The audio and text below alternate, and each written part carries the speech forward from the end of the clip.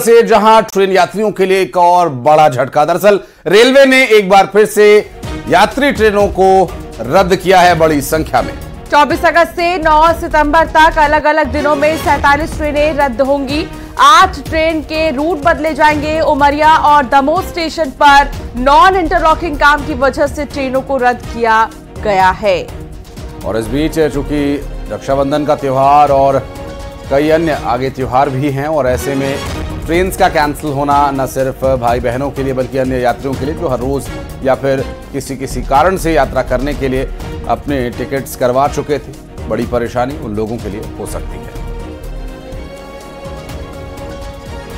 श्योपुर में दुकान में भीषण आग लग गई है दरअसल शॉर्ट सर्किट आग लगने की वजह बताई गई है। बता दें कि दमकल की गाड़ियों ने आग को बुझाया और लाखों का सामान जलकर इस दौरान राख हो गया। और इस पूरे घटनाक्रम में जो तस्वीरें सामने आई, वो भी इस वक्त आपको दिखा रहे हैं। आपकी स्क्रीन पर आप देख सकते हैं कि आग लगने के बाद मौके पर पहुँची दमकल की गाड़ियों ने काफ़ी मशक्कत के बाद आग पर काबू पाया और शिवपुर से ये पूरा मामला सामने आया, जहाँ लाखों का सामान आग में जलकर स्वाहा हो गया। दीपक हमारे सहयोगी जुड़ गए, हमारे साथ बात करेंगे उनसे। दीपक, कब की दुर्घटना है और अभी क्या डिटेल्स मिल पा रही है इस बारे में? जी, बिल्कुल आशीष बीती रात की ये घटना है और काफ़ी नुकसान इस आगजनी में हुआ है। बताया गया है कि किराना जो थोक व्यापारी हैं, उनकी दुकान में ये आग लगी है। सोनीकला कस्बे का ये पूरा मामला है। और आग की वजह से लाखों रुपए का माल यहाँ पर जलकर खाक हुआ है। व्यापारी के द्वारा बताया गया है कि करीब एक करोड़ से ऊपर का नुकसान है, लेकिन अभी तक नुकसान का जो आंकलन है, वो पूरी तरह से प्रशासनिक टीम करेगी। तब बताया जा सकेगा कितना नुकसान हुआ है लेकिन नुकसान बड़ा हुआ है और शॉर्ट शॉर्ट सर्किट की वजह से ये आग यानी हुई है। दमकल की गाड़ियों ने देर रात ही आग पर काबू पा लिया लेकिन नुकसान हुआ है यहाँ जी बहुत शुक्रिया दीपक आपका इस जानकारी के लिए। और बढ़ते आगे राजधानी भोपाल में एक बार फिर बंदूक के दम पर लूट की वारदात को अंजाम दिया गया। कृष्णा ऑर्किड कॉलोनी में ज्वेलर्स की दुकान पर लूट की गई है। हेलमेट पहनकर बाइक सवार दो बदमाश आए। बदमाशों ने कैश समेत सोने, चांदी के जेवर लूट लिए। बाग सिवनिया थाना क्षेत्र का यह पूरा मामला बताया जा रहा है, जहाँ पर अब क्या कुछ कार्रवाई चल रही, डिटेल्स आप तक पहुँचा रहे हैं। फ़िलहाल पुलिस छानबीन कर रही है। पूछताछ के बाद आगे सीसीटीवी कैमराज के वीडियो चेक किए जाएँगे और उसके आधार पर आगे की कार्रवाई की जाएगी। फ़िलहाल इस पूरे मामले के बाद एक बार फिर से मार्केट में दुकानदारों में दहशत है। जिस तरह बाइक सवार बदमाशों ने लूटपाट की वारदात को अंजाम दिया और हथियार लेकर आए थे बदमाश, किसी के ऊपर हमला भी कर सकते थे और ऐसे में कई तरह के सवाल उठ रहे हैं। अब पुलिस प्रशासन आरोपियों की तलाश में जुट गया है।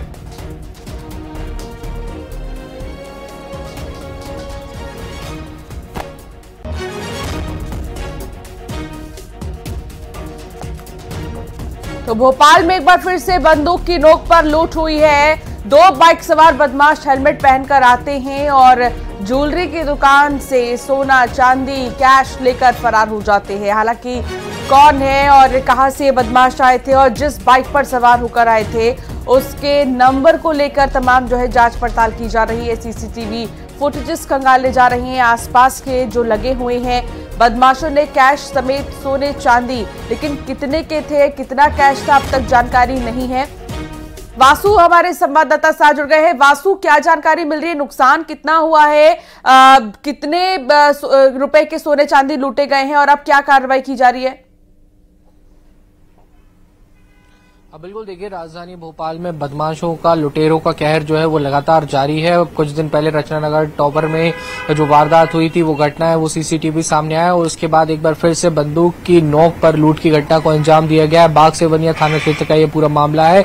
घटना कल देर शाम की जो है वो बताई जा रही है। दो बदमाश एक ज्वेलर्स की दुकान पर बंदूक लेकर घुसते हैं। बंदूक की नोक पर उससे लूटने का काम करते हैं। करीब चालीस हज़ार कैश लूटा गया है, जो जो कि उस समय दुकान में कैश मौजूद था और उसके अलावा ज्वेलर्स भी लूटे गए जिसमें सोने चांदी के ज्वेलर्स शामिल होना बताया जा रहा है। अब ये ज्वेलर्स की कितनी कीमत है, फ़िलहाल इसका जो अंदाज़ा है वो लगाया जा रहा है। कल देर रात ये पूरी घटना सामने आने के बाद कमिश्नर हरिनारायण चारी मिश्र समेत पुलिस के तमाम अधिकारी जो है वो मौके पर पहुँचे और वहाँ पर तफ्तीश की गई। अब जो आसपास लोग वहाँ पर मौजूद थे घटनास्थल पर, उनसे पूछताछ की जा रही है और इसके अलावा जो सीसीटीवी फुटेजेस हैं, सीसीटीवी कैमरे हैं, उनको भी तलाशा जा रहा है कि उसमें से कोई क्लू मिल सके। दो बदमाश बाइक पर हेलमेट पहन पहनकर कराए थे यानी कि ज़ाहिर सी बात है कि उनका चेहरा छुपा हुआ था। वैसे में उनको आइडेंटिफाई करना पुलिस के लिए कहीं ना कहीं एक चुनौती जो है वो बना हुआ है, लेकिन पुलिस ने दावा किया है कि जल्द ही हम उनको आइडेंटिफाई कर लेंगे और जल्द ही उन्हें गिरफ़्तार करने का जो काम है वो किया जाएगा। लेकिन इस तरीके के मामले अब भोपाल में आए दिन सामने आ रहे हैं, जिससे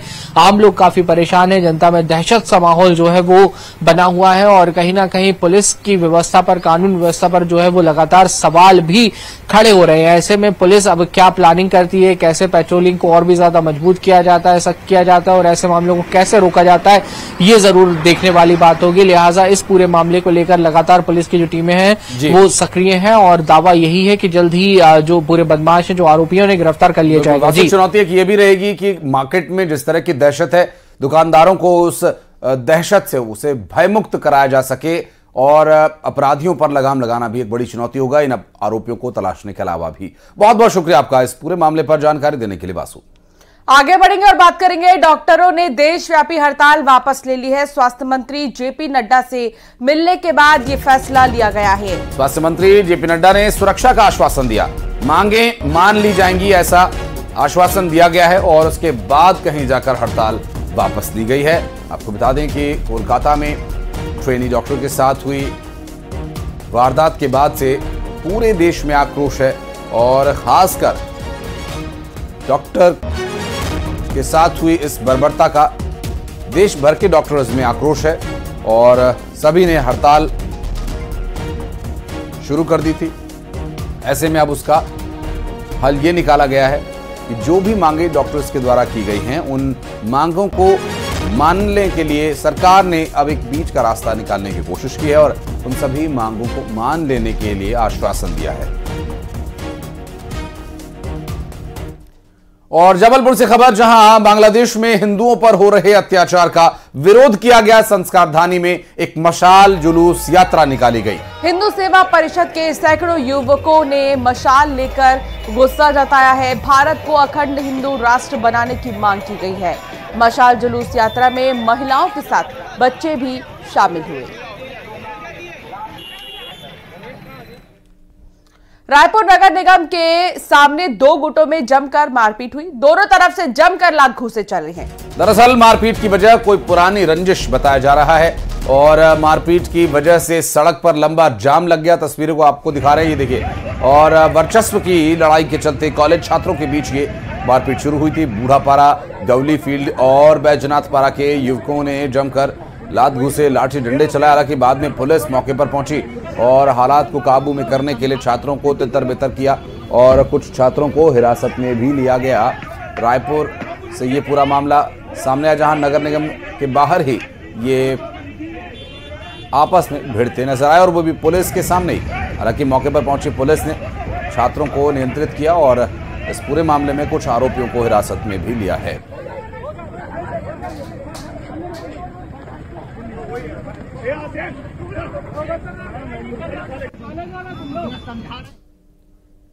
और बढ़ते आगे, शाजापुर में जब्त की गई अवैध शराब पर बुलडोजर चलाकर उसे नष्ट कर दिया गया। लाखों रुपए की अवैध शराब को नष्ट किया गया है। अवैध शराब की बोतलों पर जेसीबी मशीनें चली हैं। 510 पेटी अंग्रेज़ी शराब नष्ट की गई है। पुलिस ने साल 2014 में शराब पकड़ी थी। दो ट्रक से भी ज़्यादा शराब नष्ट की गई है।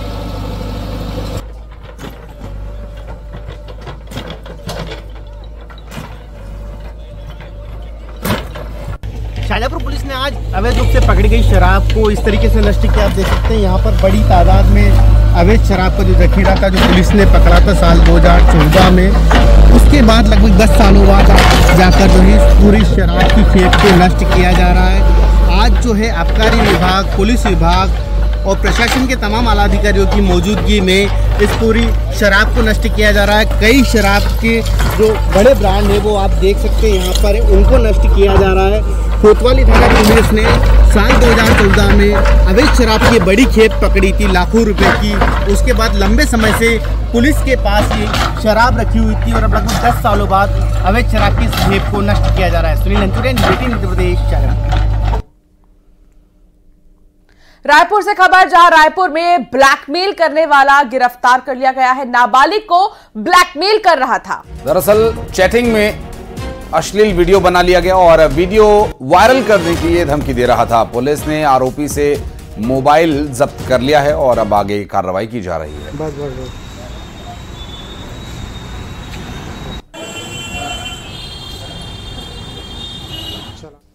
और बिलासपुर से बड़ी खबर आपको बता दें कलेक्टर के चैम्बर की फॉल सीलिंग के गिरने का एक मामला सामने आया। हालाँकि उस वक्त कलेक्टर वहाँ मौजूद नहीं थे।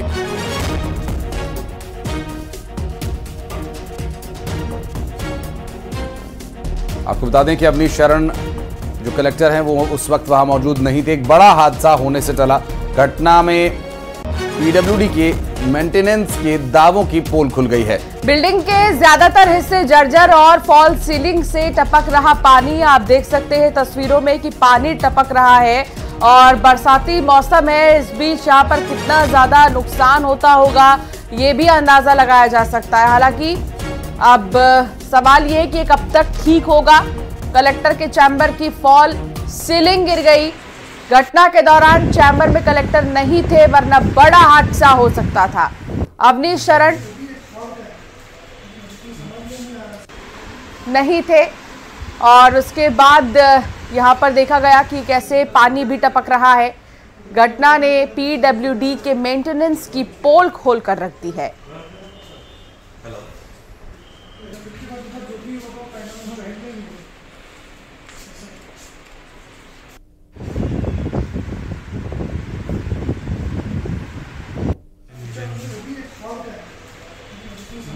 पीडब्ल्यूडी के तमाम दावों का यहाँ पर क्या हाल है, आप देखकर अंदाज़ा लगा सकते हैं। उमेश मौर्य हमारे सहयोगी जुड़ गए हमारे साथ। बात करेंगे उनसे। उमेश ये जो सब कुछ हो रहा है, पीडब्ल्यूडी की तरफ़ से कोई इस पर सफ़ाई दी गई कि आखिर किस वजह से हो रहा है? क्यों इतनी जल्दी इतना सब कुछ सामने काम खराब हो रहा है? इसकी फॉल सीलिंग की हालत देखकर लग रहा है जैसे काफ़ी समय से इसको रिपेयर ही नहीं किया गया, मेंटेन नहीं किया गया। आशीष जी, देखिए पीडब्ल्यूडी विभाग को हर साल मेंटेनेंस के लिए लाखों रुपए, करोड़ों रुपए खर्च करती है। लेकिन आप स्थिति को देख सकते हैं कि किस तरीके से कलेक्टर का चेंबर ही सुरक्षित नहीं है। जहाँ पर चेंबर कलेक्टर अवनीश शरण बैठते हैं, उस जगह की जो फॉल सीलिंग है, वो भरभरा कर गिर गई। एक बड़ा हादसा वहाँ पर टला है, चूँकि जिस दौरान ये घटना हुई, वहाँ पर कलेक्टर अवनीश शरण नहीं थे। और ये ये केवल कलेक्टर चेंबर की स्थिति नहीं है, ऐसे पूरे कलेक्ट्रेट बिल्डिंग की स्थिति इसी तरीके से है। पूरी जगह सीपेज की स्थिति बनी हुई है, पानी टपक रहा है, लेकिन केवल पीडब्ल्यूडी ये कहता है हर साल कि वो मेंटेनेंस पे करोड़ों रुपए खर्च कर रहा है। ये करोड़ों रुपए जो खर्च कर रहा है, उसकी पोल खोलकर इस फॉल सीलिंग ने रख दी है। फ़िलहाल इस पूरे मामले को लेकर कलेक्टर ने एक्शन लिया है, और वहाँ पर जहाँ भी बिल्डिंग में जिस जगह पे पानी सीपेज की स्थिति बनी हुई है वहाँ बेहतर करने के लिए निर्देश जारी किया है। अगर ऐसी स्थिति नहीं होती है तो उन पर कड़ी कार्रवाई करने की चेतावनी दी है। जी। बहुत शुक्रिया उमेश जानकारी साझा करने के लिए। दुर्ग से बड़ी खबर आ रही है पुलिस ने 11 लाख का गांजा बरामद किया है। दरअसल खड़ी गाड़ी से 113 किलो गांजे की बरामदगी हुई है। चैम्बर बनाकर गाड़ी में इसे छिपा कर ले जा रहे थे आरोपी। और अब फ़िलहाल जो आरोपियों की तलाश की जा रही है उसमें दावा यह किया जा रहा है कि बहुत जल्द उन्हें धर लिया जाएगा। दरअसल जेवरा सिरसा चौकी क्षेत्र का ये पूरा मामला और ये देखिए किस तरह से ये गाड़ी में चैम्बर बनाकर ये तस्करी चल रही थी और ये इन दिनों बहुत आम हो चला है। हालाँकि ये जो चैम्बर हैं, इससे पहले कई और गाड़ियों में पकड़े गए जिसके बाद अब इस पूरे तिकड़म का खुलासा हो चुका है और पुलिसकर्मी जो दिन भर इस तरह की गाड़ियों पर नज़र रखते हैं, वो देखते ही ऐसी गाड़ियों को पहचान लेते हैं कि ये गाड़ी किस काम के लिए इस्तेमाल की जा रही है और एक बड़ी कामयाबी। और बड़ी खबर दंतेवाड़ा से, जहाँ पर एक इनामी नक्सली दंपत्ति ने सरेंडर किया है। पाँच लाख और दो लाख के इनामी नक्सलियों ने आत्मसमर्पण किया है। पुलिस के सामने हथियार डाले हैं। कई बड़ी नक्सली वारदात में भी ये शामिल हो चुके हैं, लेकिन अब इन्होंने सरेंडर कर दिया है। इन पर इनाम भी था। एक पर पाँच लाख तो दूसरे पर दो लाख का इनाम था। पुलिस के सामने इन्होंने हथियार डाल दिए हैं। कई बड़ी नक्सली वारदात में शामिल हो चुके हैं।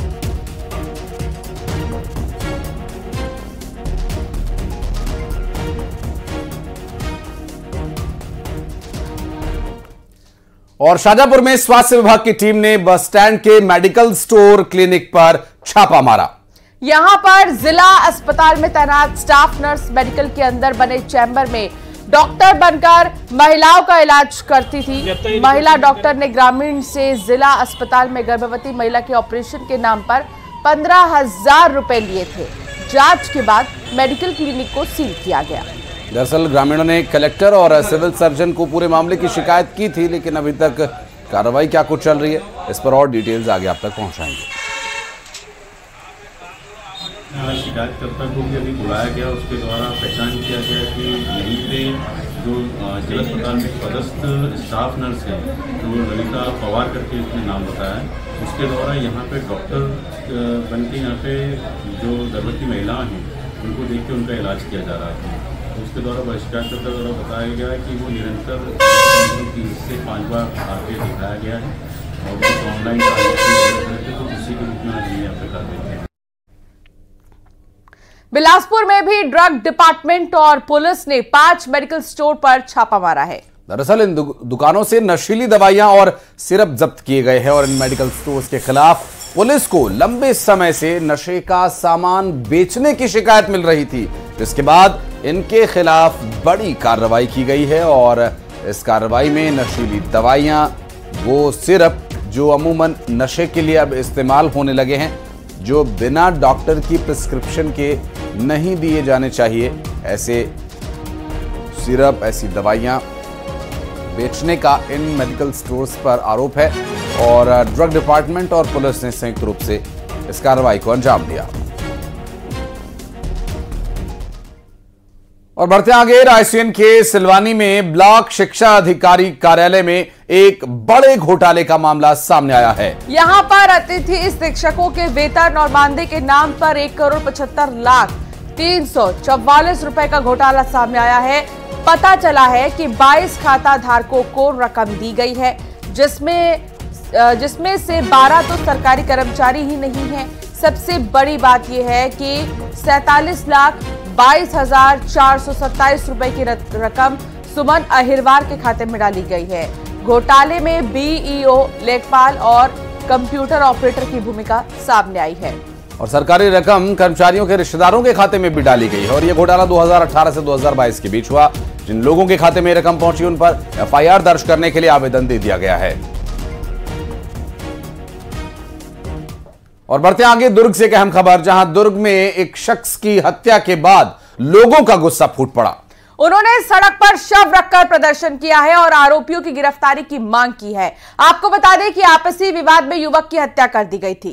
दरअसल आरोपियों ने 20 साल के शुभम बांदे पर चाकू से कई बार वार किया और उसे लहूलुहान हालत में जिला अस्पताल में भर्ती कराया गया। हालाँकि बाद में उसे मृत घोषित कर दिया गया।